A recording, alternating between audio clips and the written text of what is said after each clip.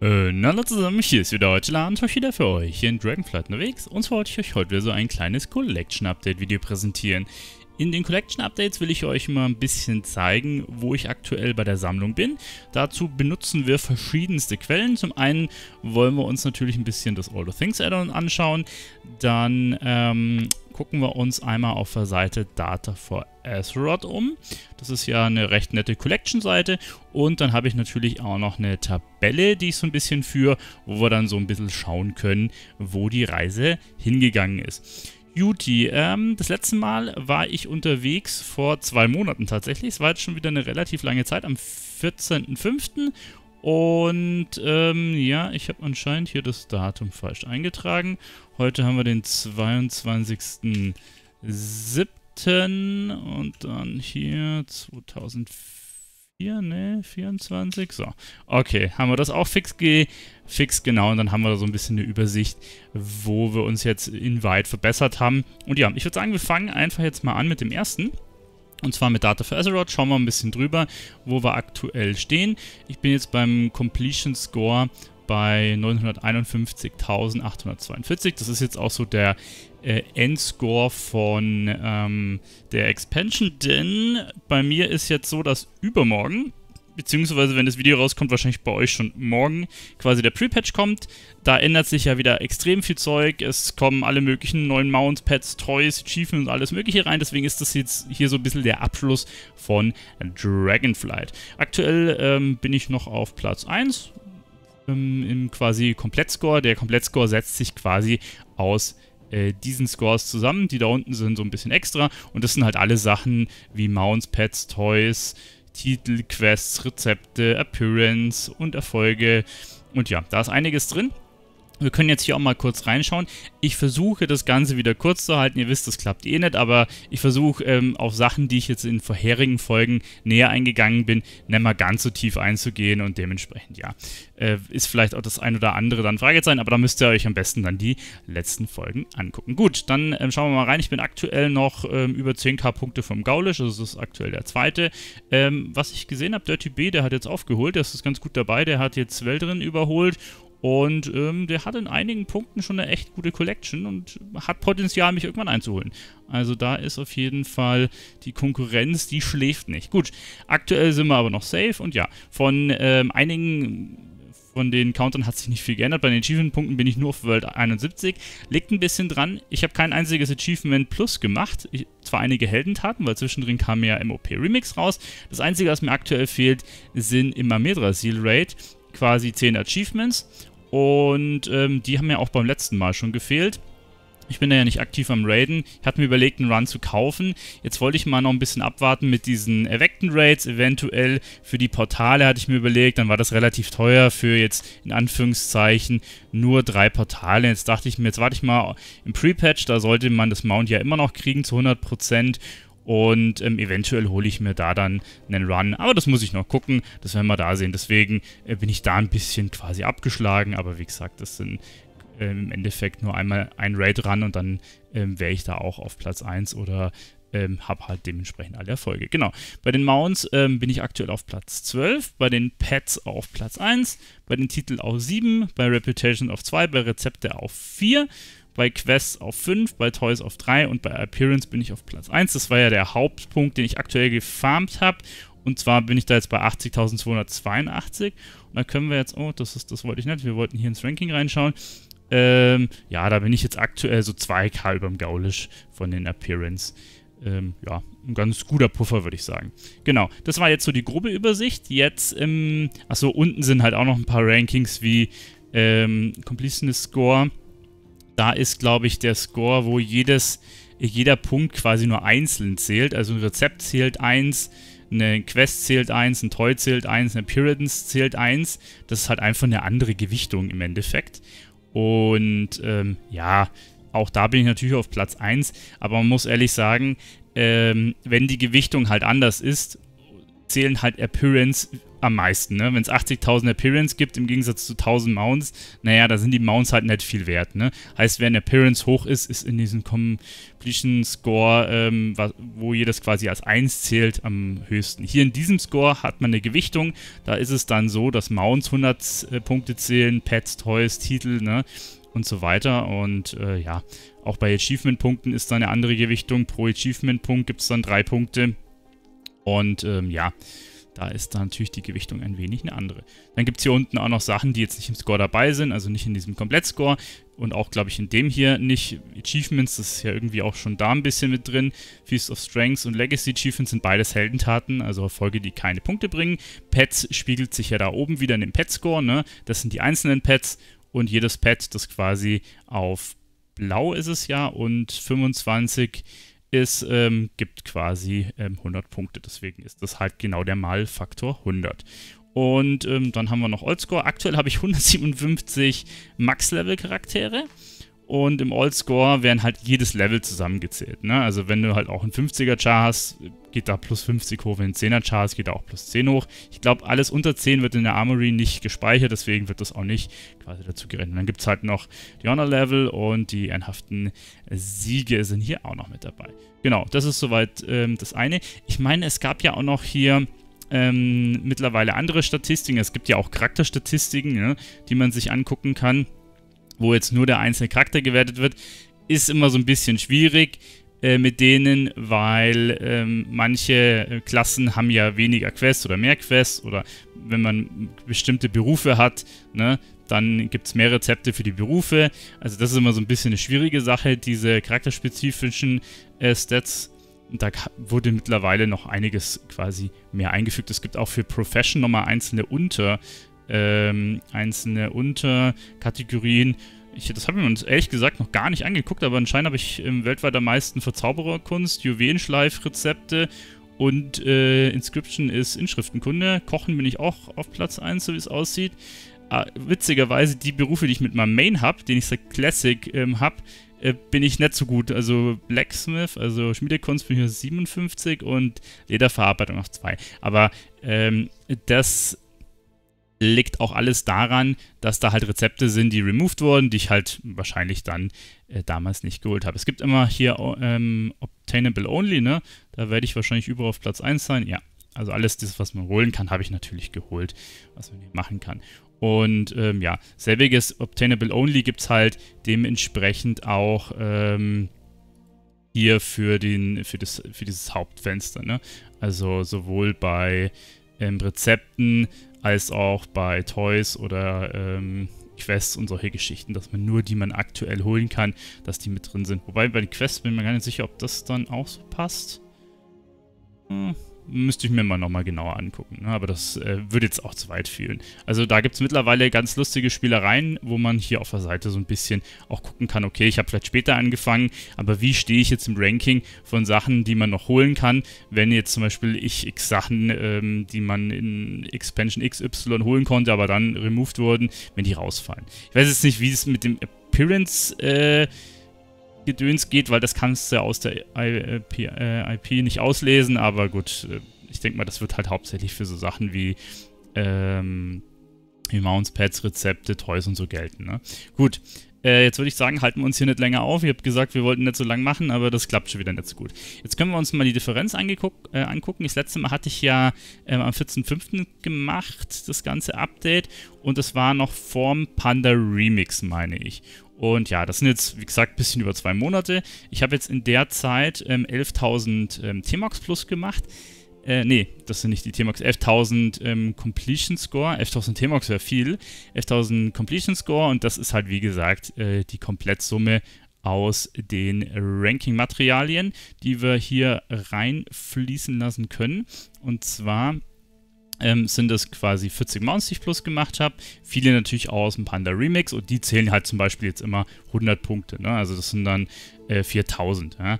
Und dann äh, Pet Score habe ich 500 plus gemacht. Also waren das fünf Pets, naja gut, waren jetzt nicht so viel. Dann gab es vier Titel. Dann haben wir hier 47 Rezepte. Ich bin jetzt gerade überlegen.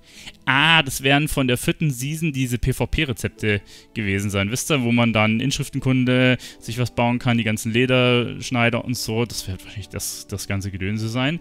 Dann ähm, elf Toys waren es. Das ist wahrscheinlich auch einiges ist Panda Remix. Dann Appearance habe ich 5000 plus gemacht. Da ist natürlich auch sehr viel aus dem Panda Remix, muss man ganz klar sagen. Blizzard hat es ja dann im Laufe des ähm, Events hinbekommen, dass man auch die Assemble lernen kann, obwohl man äh, quasi schon das Grundaussehen hat, ne?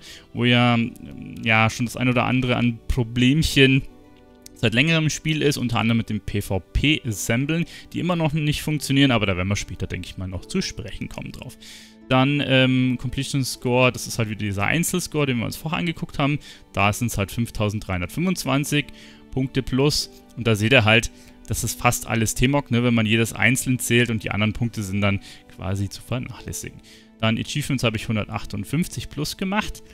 Ähm, ich glaube, das sind so viele, weil hier die Panda Remix Erfolge unter den normalen Achievements gelistet sind und nicht unter Feast of Strengths oder Legacy Achievements. Obwohl es auch quasi keine Punkte bringen. Also bin ich ein bisschen unglücklich von Blizzard gemacht, aber anscheinend bei der Auswertung fließen sie trotzdem als äh, Achievements quasi ein. Dann Feast of Strengths sind es 22, dann Legacy Achievements keine, Pets 5, ne, hat man schon ahnen können da oben bei den 5 Pets. Dann Alls, habe nochmal 15 Chars auf Max gespielt. Das war hauptsächlich Panda Remix. Ähm, da brauchte ich ja auch einige Chars, um die ganzen Waffentransmogs zu farmen und habe mir dementsprechend ein paar hochgespielt. Der Old-Score ging dann dementsprechend um 657 hoch. Ein paar Ehrenlevel habe ich noch gemacht und ein paar ehrenhafte Kills. Ich habe ein bisschen im PvP noch Elite-Sets gefarmt und ähm, allgemein die ganzen Sets, äh, diese ganzen erweckten Sets, weil das alles neue IDs sind und ich vermute, die fallen raus, sobald äh, die Expansion zu Ende ist, weil mit Shadowlands war es ja so, nachdem die Expansion zu Ende war, waren die Faded Raids raus und ich schätze mal, das wird bei den erweckten Raids genauso sein. Und da habe ich geschaut, dass ich noch die ganzen Sets zusammenkriege. Und im All the Things sind wir von davor ähm, fehlenden Items 7936 auf 3068 runter. Ihr seht, wir sind erst ein gutes Stück hochgegangen. Ja? um 3600 hochgegangen. Das war nämlich noch ähm, bevor Panda Remix quasi mit im All the Things war. Und ähm, da haben mir noch 4000 Sachen gefehlt und dann ist das natürlich dazu gekommen. Ne? Das war, war eine relativ große Menge. Die habe ich jetzt alles abgearbeitet und noch ein paar Sachen außerhalb vom Panda Remix. Und jetzt sind wir schön runter auf insgesamt 3000, ähm, 3068. Heißt, ich habe 4868 Punkte aus dem All Things rausgekriegt. Also äh, mehr als halbiert haben wir das Ganze. Aber gut, über Panda Remix ging halt auch das Zeug schnell raus, ne, muss man ganz klar sagen. Das sind ähm, 2,71 Prozent die wir dann nochmal gut gemacht haben und sind jetzt auf 98,3%. Und da können wir, denke ich mal, gleich ähm, anknüpfen und im Older Things gucken, beziehungsweise vielleicht schauen wir nochmal die großen ähm, Collection-Sachen durch. Das habe ich die letzte Mal, glaube ich, auch gemacht. Äh, fangen wir an mit den Achievements. Also ihr seht, mir fehlen genau 10 Achievements und diese 10 Achievements sind einmal hier unter Dragonflight Schlachtzüge drin.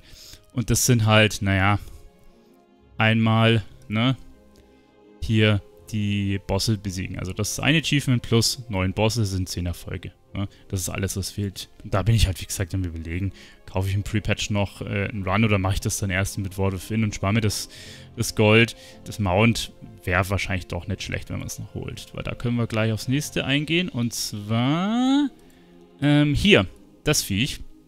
Das brauche ich noch. Das ist einmal das Fyrak-Mount. Und zwar ähm, kriegt man das von Fyrak Mythic. Und ja, das müsste ich mir noch holen. Das ist jetzt eigentlich das letzte Mount, was ich noch brauche. Ein weiteres haben wir hier noch drin. Wilde schwarze Kampfschildkröte. Und das wird als Promotion markiert, aber man weiß leider noch nicht, wo man das herkriegt. Ne? Heißt, äh, ja, das ist zwar schon hier in den Daten drin, aber es hat noch keine Quelle. Ich vermute, das könnte auch wieder aus dem Handelsposten kommen. Eine andere Farbvariante hatten wir ja da tatsächlich schon mal. Und ja, das ist so, wie gesagt, das Letzte, was ich da brauche.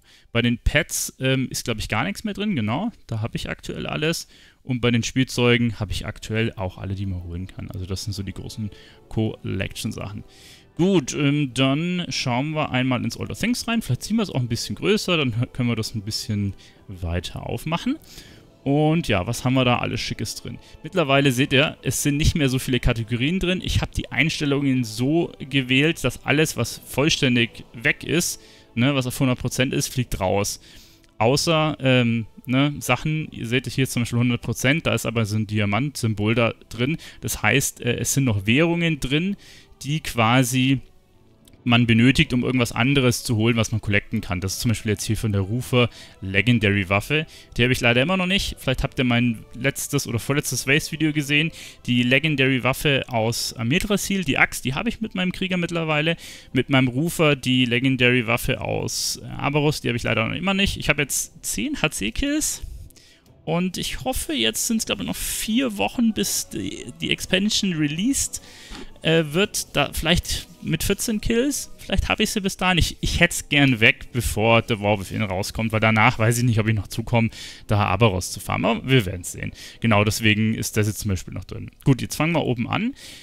Ähm, aktuell, das meiste, was mir fehlt, ne, ist hier unter Dungeon und Schlachtzüge. Und ich habe jetzt endlich so die letzten paar Sachen rausgekriegt, die letzten World-Bosse im MOP. Und jetzt fehlt mir wirklich nur noch Shadowlands und Dragonflight. Und in Shadowlands sind es halt auch nur die Raids, wie ihr seht. Also das sind hier quasi nur Raid-Items.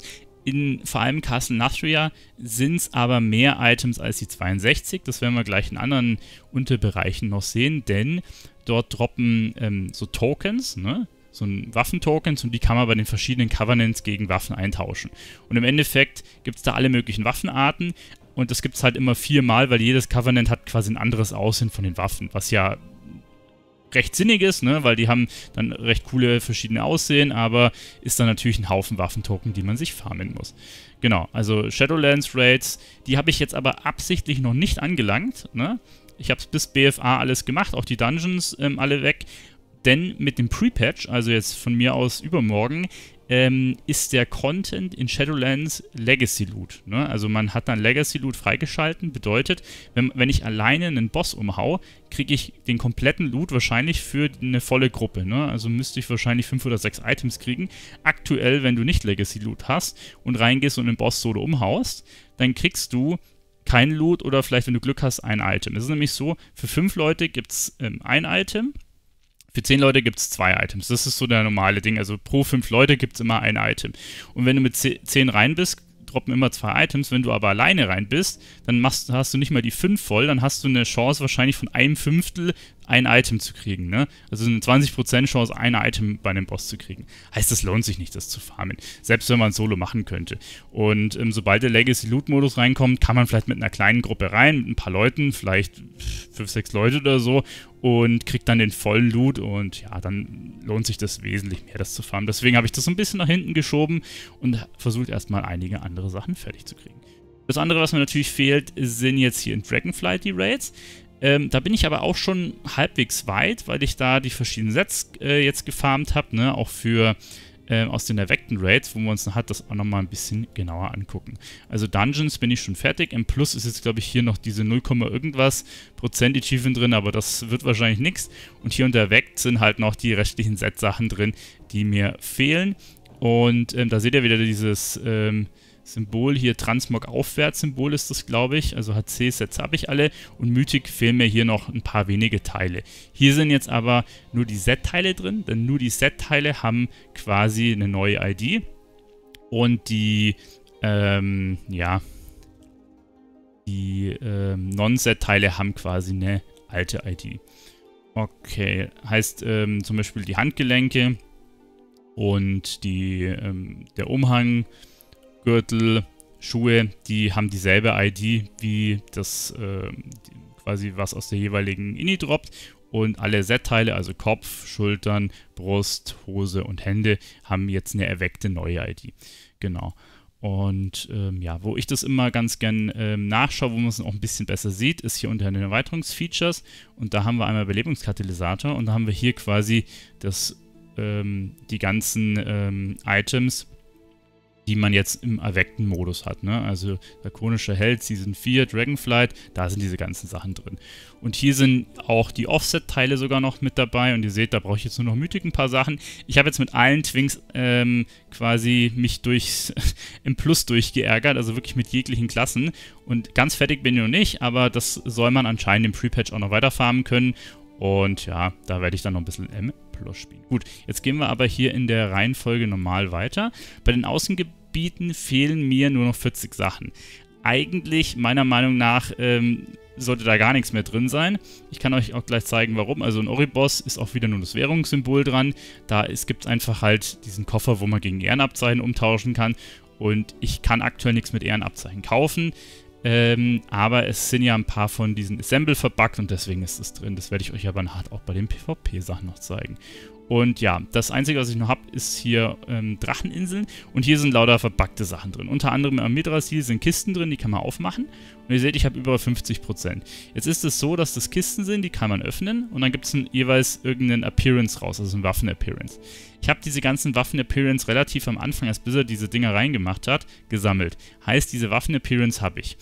Die Kisten haben alle eine eigene ID. Und nach einer Woche oder zwei hat Blizzard entschieden, dass sie bei allen Kisten die IDs ändern und neue IDs reinmachen, aber dieselben Waffen drin lassen. Ich weiß zwar nicht warum, aber gut, das haben sie einfach random entschieden. Jetzt ist das Problem, diese Kisten sind alle accountweit nur einmal öffnenbar. Und da ich die T-Mox habe, kann ich die Kisten, sehe ich die nicht mal mehr. Also ich kann die nicht nochmal aufmachen. Jetzt bedeutet das, ich habe hab zwar das T-Mock davon, aber ich kann mit keinem Char auf dem kompletten Account diese Kisten nochmal öffnen. Jetzt sind die hier drin und das Problem haben anscheinend mehrere. Ich habe das auch schon im All the Things Discord gemeldet, aber es ist irgendwie schwierig, äh, das zu fixen, so wie es aussieht. Also die kann, die Dinger, ja, weiß ich nicht, die kriege ich halt nicht. Das ist halt ein bisschen blöd. Dann hier bei Waldracken ist halt dasselbe drin, ne, auch wieder dieses PvP-Ding für dieses Ehrenabzeichen. Und dann habe ich noch in der Zaralek-Höhle, ähm, gibt es hier Elite-Sets aus der zweiten Season. Und die kann man auch darüber kriegen, da man aktuell ja noch im Aberos laufen kann. Und in Aberus, wenn du den Raid komplett clearst, ist es quasi so, dass du so einen Token bekommst. Ne? Das kannst du nur einmal pro Char machen. Zur aktuellen Season, also zur aktuellen zweiten Season, war es so, du konntest quasi den Aberus Raid clearen. Du konntest, äh, wenn dann ein gewisses Rating im PvP oder im M Plus spielen. Ne? Da die zweite Season zu Ende ist, kannst du M Plus und PvP-Rating vergessen, aber der Aberus Raid zählt immer noch. Und man muss halt dann, ich glaube, 65 Tokens braucht man, ne? also 5 pro äh, Klasse. Und ich habe jetzt schon über die Hälfte weggemacht. Ich hab, bin dann mit einigen Charts mal durchgelaufen. Viele Evoker wollen da ja die Legendary Waffe farmen und da habe ich mir schon ein bisschen was gefarmt. Ich habe jetzt aber in letzter Zeit nicht mehr geschafft, da weiterzumachen, weil mit den Elite-Sets und den ganzen ähm, M Plus, was ich aktuell mache für diese Set-Sachen, da, ähm, das frisst schon verdammt viel Zeit tatsächlich. Aber mal gucken.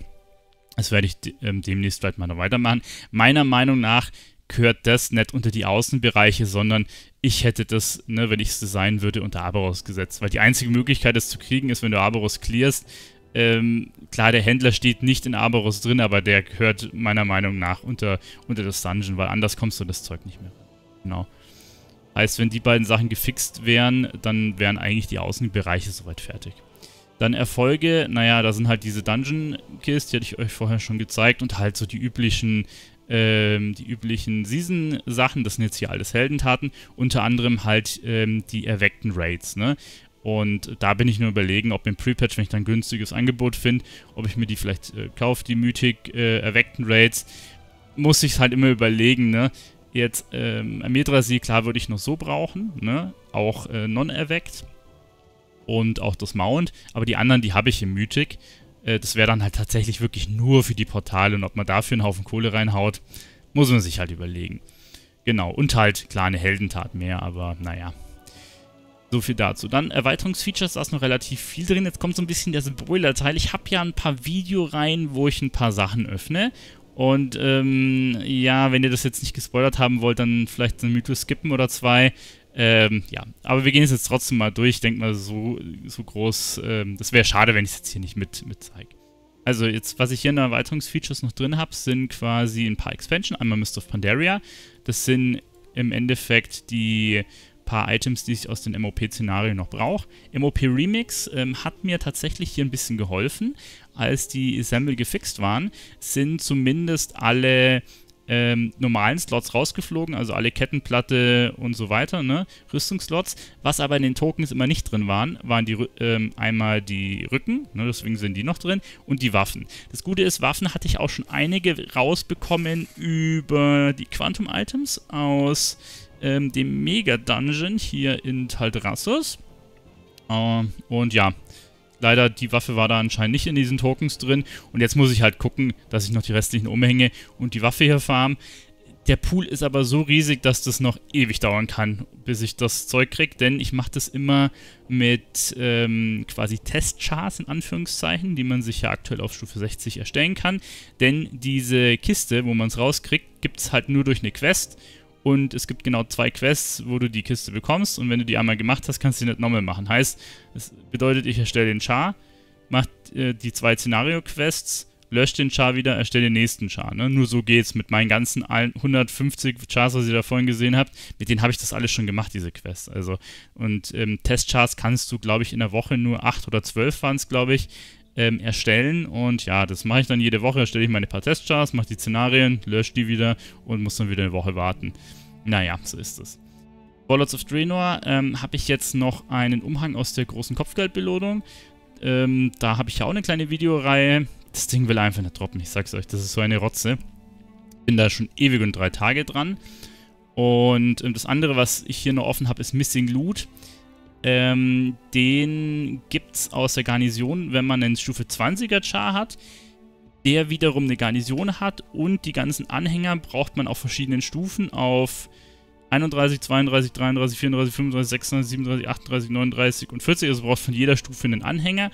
Und dann hat mir noch jemand gesagt, die Chars an sich dürfen kein Gear haben. Also du brauchst ewig viele Voraussetzungen, dass bestimmte Items droppen können. Ich bin da jetzt schon drei, vier, fünf Monate dran, ich weiß nicht wie lang, und die Teile habe ich immer noch nicht bekommen. Guck da alle paar Tage mal nach, ob die richtigen Missionen procken. Also das ist, das ist so ein richtiges Elend, ich sag's euch. Das ist ein richtiges Elend. Genau. Dann Battle for Azeroth, naja, da habe ich die gleiche Problematik immer noch, wie wahrscheinlich auch beim, bei den letzten paar Teilen. Äh, das sind halt Breadcrumb-Quests, die nur einmal pro Account erwirtschaftet werden können und da bin ich halt einfach ausgelockt. Ne? Also die kann ich schlichtweg nicht machen, diese Brotkrumen-Quest, wie sie auf Deutsch heißen. Und ich habe da auch schon einen Thread vor ein paar Wochen, einen Monat aufgemacht im All the Things Discord und habe da mal versucht, äh, ob man die irgendwie da rauskriegt, weil das ist halt ein bisschen blöd, ne? wenn, wenn du einmal quasi die Questreihe gemacht hast und die, was ist es, die, ähm, die Warfront freigeschalten hast und die Breadcrumb-Quest übersprungen hast, dann kannst du die nie wieder machen, ne? Und äh, die im All of Things haben schon eine Mechanik eingebaut, wenn du die Horden-Version hast, kriegst du automatisch die Ali-Version, aber ich habe beide übersprungen, das ist das Problem. Und ja, mal gucken, vielleicht schmeißen sie die irgendwie raus, aber anders komme ich da nicht ran. Aber ihr seht, das hier sind wirklich nur Kleinbeträge. Die zwei großen Sachen, die unter Erweiterungsfeatures drin sind, die ordne ich beide eigentlich Dungeon-Schlachtzüge zu. Und zwar ist das einmal hier, sind es lauter Händler bei den verschiedenen Covenants. Ne? Da hatte ich ja vorhin schon gesagt, das sind diese Waffentokens. Und die sind alles Waffen aus ähm, dem ersten Raid aus Custom Nashria. Ne? Seht ihr, also da sind ewig viele drin. Und das sind halt dann nochmal 244 Items, die eigentlich hier unter Cast Nasria noch dazugehören. Ne? Die sind aber jetzt halt hier in den Erweiterungsfeatures drin. Und das andere hier, was wir dann noch haben unter Dragonflight, naja, gut, was ist da noch drin? Das ist halt hier dieses Token drin, ne? was wir ja unter Außenbereiche Zaralek, also dafür kann man diese Teile kaufen. Gehört für mich eigentlich mit dem zusammen auch unter die Dungeons rein, meiner Meinung nach. Dann hat man die Manuskripte. Da ist ein Manuskript quasi aus dem Raid, ne, aus Amedrasil, also auch eigentlich Dungeons. Und das andere ist von Liebeleg in der Luft, das habe ich nicht gedroppt bekommen. Das haben wir aber unten, da hat man mal, glaube ich, unter einem anderen Punkt. Und halt Belebungskatalysator, ne, das sind halt die kompletten Sets, auch wieder aus den Raids, ne. Also da hat man diese ganzen Sachen drin. Und heißt, dieser Punkt ist eigentlich auch wieder Raid. Bedeutet, 98% äh, von den Erweiterungsfeatures ist eigentlich auch Dungeon und Schlachtzüge. Ja? Weil außer diese paar Dinge, aber das sind 5, 8 und 2, also das fällt jetzt nicht ins Gewicht tatsächlich. Genau. Und ja, das nächste da ist halt Feiertage. Da sind jetzt auch nochmal sehr viele Sachen drin, 749. Und ihr seht, äh, jetzt gehen wir erstmal auf die kleinen Liebe liegt in der Luft. Das ist halt dieses eine Manuskript, was ich nicht bekommen habe. Ich hoffe, nächstes Jahr gibt es das dann für mich. Braufest ist jetzt hier auch nur Währung drin. Das liegt daran, weil man ähm, die Sachen umtauschen kann gegen so ein Upgrade. Und zwar für Erbstücke. Im, im Mist of Pandaria ähm, gab es ja diese ganzen alten ähm, Erbstück, äh, Erbstücke quasi aus MOP wieder. Und die sind einmal hier unten drin. Und jetzt seht ihr, eine Waffe habe ich hier nicht abgegradet. Das liegt daran, dass es im MOP äh, Remix, glaube ich, die HC-Version der Erbstücke gab. Und diese eine Waffe, die ich hier upgraden soll, die habe ich aber in der Mythic-Version damals in MOP bekommen. Erbstücke, jetzt schauen wir mal rein. Dann die Waffen, ne, ich bin glaube ich zu weit. Hier, seht ihr, ich habe die Mythic-Version. Und wenn du die Mythic-Version hast, überschreibt es die HC-Version. Jetzt ist das Problem, ähm, All the Things sagt mir quasi, seht ihr, das ist hier die HC-Version, ich soll die HC-Version ähm, upgraden. Ich kann die HC-Version aber nicht lernen, weil ich die Mythic-Version habe. Ich denke mal, sobald MOP Remix ähm, raus ist, ne, dann ist das, kann man das ja auch nicht mehr kriegen, dann fliegt das aus dem All the Things raus. Und damit äh, fliegen auch diese ganzen Möglichkeiten raus, wo man diese Upgrades kriegt, wie dieses Braufest zum Beispiel. Macht ja keinen Sinn, in Anführungszeichen. Genau. Und was ich dann noch drin habe, ist halt hier ähm, einmal einen Schuh. Den habe ich aber mit dem Main auf der Bank liegen. Seht ihr? Taylor auf, hat er auf der Bank liegen. Das ist ein Stoffteil. Und am Mittwoch sollte ich das eigentlich lernen können. Deswegen ja, habe ich da dementsprechend auch nicht mehr weitergemacht. Habe ich mir damals irgendwann zu Burning Crusade, glaube ich, erangelt. Und seitdem habe ich das auf der Bank liegen, weil das, weil das zu meiner Angelausrüstung gehört hat. Und jetzt kann ich es endlich dann das Stoffteil lernen. Ne? Ich habe mir schon überlegt, ob ich es mit noch einem äh, Stoffi farme, aber da habe ich ja eh schon vor, vor einigen Monaten hat mir da eh schon gehört, okay, mit Warwolf In kann man dann alles T-Moggen und dann habe ich gesagt, ach komm, scheiß drauf. Da warte ich einfach und dann ähm, hole ich mir das, die Gedönse. Ja, und das andere, was wir hier haben, sind dann Time Walker und hier seht ihr, haben wir alle möglichen Sachen drin. Ähm, und das sind halt auch wieder Time Walker Marken, ne? MOP, WOD und Legion sind auch wieder Timewalker-Marken, wo man halt wieder das Zeug upgraden kann. Also das dürfte dann eigentlich rausfliegen, sobald ähm, die Waffe mit ähm, MOP Remix rausfliegt. Was aber noch drin ist, sind die ersten drei Expansions und zwar oder die ersten, ähm, ja, untersten Timewalker Expansion, also Burning Crusade, Red of the Lich King und Cataclysm. Und das liegt so ein bisschen dran, diese haben im Timewalker neue IDs. Bedeutet, ähm, jegliches Item, was es im, im normalen Dungeons gibt, hat im Time Walk eine andere ID in den ersten drei Expansions gegeben. In den höheren haben sie dann dieselben IDs und haben einfach nur ein anderes Item-Level. Also Blizzard hat dann das System ins Positive geswitcht und hier ist es halt noch kacke, ne?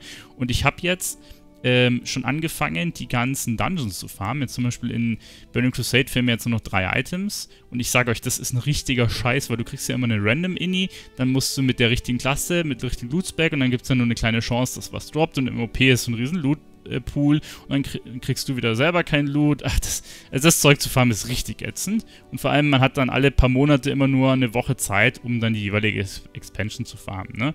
Und hier gibt es sowohl halt äh, Dungeon Loot, hier in, in Burning Crusade wir noch drei Sachen, als auch ähm, Loot quasi für den Raid. Und beim Raid bin ich jetzt zum Beispiel hier auch schon bei 70%. Es gibt aber auch eine Quest für den Raid und da bin ich jetzt erst bei 17%. Und hier ist es so, dass du einfach immer den Endboss umhauen musst. Ähm, und da droppen halt richtig viele Sachen. Und die Sachen, die jetzt hier droppen, sind dann zum Teil halt der Loot aus den anderen Raids. Ne? Also ähm, Burning Crusade kriegt man ja jetzt quasi nur ähm, Illidan oder halt ähm, Black Temple mit Illidan. Und ähm, zu, zu dem Set in Anführungszeichen damals, ich glaube T6 ist es, ähm, hat ja jetzt Mount Heal auch noch dazu gehört. Und hier in dem Sack kriegst du dann quasi die ganzen Aussehen von den Mount Heal Gedönsen. Und ihr seht, hier sind teilweise dreimal derselbe Kopf drin. Das hat, alle, das hat natürlich alles dasselbe Aussehen, aber alles eine neue ID. Und dann ist der Pool natürlich riesig groß. Und ja, ich muss es jetzt halt eigentlich immer so machen, dass ich diese Quest jedes Mal, wenn das Event ist, mit allen Chars, die ich habe, einmal quasi ähm, na, die dann umklopfen. Und selbiges ist es dann halt auch in Red of the Lich King, ne? Red of the Lich King habe ich richtig durchgezogen, da habe ich jetzt alle Dungeon äh, Drops und brauche halt nur noch die Raid Drops. Und da ist es halt ebenso mit der Quest, die man hier hat mit den Kisten. Da gibt es dann halt auch wieder alle möglichen T-Mox aus diesen Kisten mit anderen IDs. Also den T-Mox an sich habe ich natürlich alle, aber natürlich diese Time Walker Zusatz-IDs nicht und das sind halt sehr, sehr viele. Heißt, das wird noch eine sehr langwierige Angelegenheit, an das alles reinzukommen. Und das ganz gleiche ist halt auch in Cataclysm. Da brauche ich noch ein paar Dungeon-Sachen, da sind es jetzt noch ähm, hier drei und da eins, also vier Teile. Und dann hast du halt mit Firelands, ne, halt auch wieder dasselbe, die ähm, ganzen ähm, Drops in Firelands an sich und dann natürlich wiederum die Quests, wo dann ein Haufen IDs drin sind. Wobei in Firelands sind es irgendwie nur 42 IDs, die ich jetzt hier noch brauche. Und da auch nur noch 118. Wenn wir jetzt vergleichen, Red of the Lich King, ne, da habe ich halt Ulduar 353. Liegt so ein bisschen dran, weil es in Ulduar ähm, quasi Loot im 10er gab. 10er, ähm, ja, HC gab es ja nicht, aber quasi die Bosse, wenn man sie im Hardmode spielt, also 10er Hardmode Loot, dann gab es 25er und 25er Hardmode Loot und deswegen sind es so viele verschiedene IDs in Uldur. Ne? Wenn du jetzt guckst in Burning Crusade, da gab es halt eine Schwierigkeitsstufe, das war's. Gut, da habe ich schon 70%, aber es sind nur 39 Items, ne? die da noch fehlen. Also es ist ein bisschen über 100 Items, die es insgesamt im Black Temple gibt. Also 100 IDs quasi. Genau, das ist das Timewalker-Ding. Und dann sind es jetzt noch ein paar kleinere Dinger. Einmal haben wir hier Promotion, da fehlt mir jetzt noch dieses Banner aus dem äh, ähm, ja, Great Push äh, Season 4. Da habe ich mitgemacht, habe meine zwei Keys gespielt. Dauert halt immer nur ewig, bis sie das Banner rausrücken. Und das andere ist das, was mir seit Ewigkeiten fehlt, und zwar die Ogergötze, Curved Ogergötze oder geschnitzte Ogergötze im Deutschen. Hm, vielleicht bringen sie die irgendwann mal noch im, als Drop oder, wenn ich Glück habe, auch im Handelspost. Mal schauen. Und sonst ist halt PvP. Da sind halt die kaputten Assemble, die ich gesagt habe. Ne? Jetzt hier Legion und Shadowlands, die bisschen über 100 Sachen zusammen äh, sind halt Assemble. Ne, wo ich halt die Assemble nicht, nicht ähm, also ich kann die kaufen, aber ich kann sie nicht einlösen, weil er mir sagt, ich habe alle IDs und, oder ich habe alles T-Mog, so rum.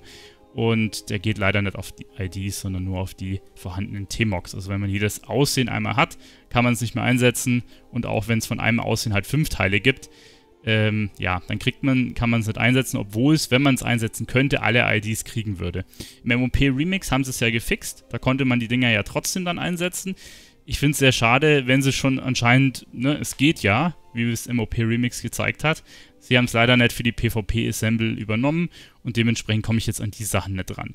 MOP ist jetzt hier zum Glück raus. Ich habe Nalak zu Tode gefarmt und endlich da den letzten Umhang gekriegt. Ähm, der ist jetzt hier rausgeflogen. Und was halt noch drin ist, ist ganz gut. Ich jetzt hier die aktuelle Season. Ich habe aber tunlichst darauf geachtet, jetzt in der kompletten Expansion, dass ich nie die Gladiator-Sets voll mache. Dass ich immer das quasi. Ich habe mit ke in keiner Season habe ich das Set komplett voll gemacht, sondern immer ein paar Dinger ausgelassen, dass ich dann äh, wenn da Assemble kommen, dass ich die auf jeden Fall lernen kann, dass mir halt nicht die gleiche Scheiße passiert wie hier, ne? Da habe ich tunlichst drauf geachtet. Genau, das soweit zu PvP. Dann Crafted Items hatte ich vorher schon gesagt, das sind nur als Währung hier drin, weil ich die Evoker Legendary Quest noch nicht fertig habe. bin ich aber dran. Und hier bei Charakter haben wir ja uns diese ähm, Waffe schon angeguckt mit den Upgrades. Und das zweite, was hier aber noch drin ist, ist der Legendary Bogen von Sylvanas. Den habe ich noch nicht. Rechne ich aber jetzt auch ein bisschen zu den Dungeons dazu. Und das andere, was wir hier noch haben, ist der Handelsposten. Und ja, das sind halt einfach die paar T-Mox-Teile jetzt vom Juli noch drin. Gut, das war es eigentlich soweit. Ihr seht, viel fehlt nicht mehr. Das allermeiste, was ich habe, ist tatsächlich Shadowlands äh, und Dragonflight Raids mit noch ein bisschen gepaart äh, Timewalker-Sachen, die man aber halt immer nur temporär erledigen kann und äh, ein paar PvP-Sachen. Das andere ist, wenn dann alles irgendwelches verpackte Zeug, ähm, ja, genau, so, so viel dazu. Ich werde jetzt die im Pre-Patch, denke ich mal, noch schauen, dass ich quasi ähm, hier die Sachen noch fertig kriege, ne? Also mit meinen Charts noch ein bisschen im Plus-Spiel. Hoffentlich die letzten paar Drops noch kriege. Natürlich dieses Pre-Patch-Gedönse äh, machen. Da gibt es ja ein neues Event und so, so ein Stuff. Das, da werde ich aber, denke ich mal, auch noch Videos zu machen, wenn wir uns das alles farmen. Und dann werde ich schon mal loslegen ähm, hier mit Shadowlands Raids und mal gucken, ob ich schon vielleicht die niedrigeren Schwierigkeitsgrade, ob man dann schon was soloen kann, beziehungsweise vielleicht in kleinen Gruppen das dann im Legacy-Load-Modus schon mal angehen, um das zu farmen. Und gut, dann steht eh schon die Expansion vor der Tür, da werden wir sicher das ein oder andere dann noch ähm, zu tun haben. Und ja, dann sieht es aber bei mir zumindest so eine Collection schon mal sehr gut aus. Ähm, dann sind wir eigentlich soweit durch. Ich glaube, ich hatte euch alles soweit gezeigt. Sollten noch Fragen sein, schreibt die gerne in die Kommentare. Und ja, ähm, ich werde übrigens die Tage noch einen Videoguide erstellen, weil das jetzt mehrfach nachgefragt wurde, zu All the Things an sich, ne? Äh, mit den Einstellungen, es ist ja ein sehr komplexes Add-on, da werde ich nochmal was zu machen. Ich habe zwar schon ein Video gemacht, es ist aber sehr lange her. War, glaube ich, irgendwann Shadowlands. Also es ist bestimmt schon zwei Jahre her. Und dass wir da einfach nochmal was Aktuelles haben. Ich warte aber jetzt noch den Pre-Patch ab. Ich weiß jetzt nicht, ob sie für 11.0 noch irgendwas hier umstellen. Will jetzt ungern ein Video erstellen und dann ist es quasi danach schon wieder für Cuts. Deswegen warte ich das noch ab. Aber da kommt auf jeden Fall was. Juti, damit sind wir durch. Ähm, ich verabschiede mich an der Stelle. Hat mich gefreut, dass ihr dabei wart. Euer Tila. Bis zum nächsten Mal. Ciao.